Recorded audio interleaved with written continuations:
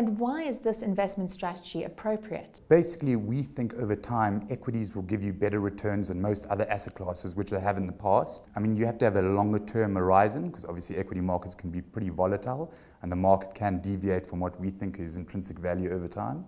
But if you have a longer term horizon, we believe this is where you'll get the best returns compared to all the other asset classes out there. And that has been um, the historic experience as well. Who's most suited to this sort of an investment strategy? So, so anyone that wants exposure to the South African equity market that's got a slightly longer term horizon, so let's say over three years, and is specifically focused or wants the returns of the South African market.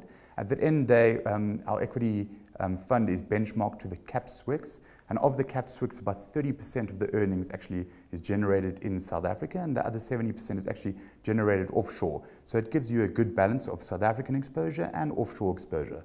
Let's chat about some of the risks, liquidity, and returns.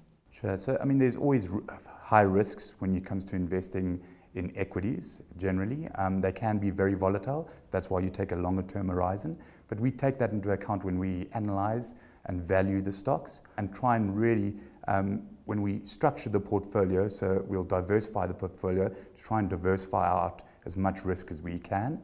When it comes to liquidity, that's why we focus on the top 100 stocks the, on the JSE, so it is relatively liquid, so we can get in and out of stocks.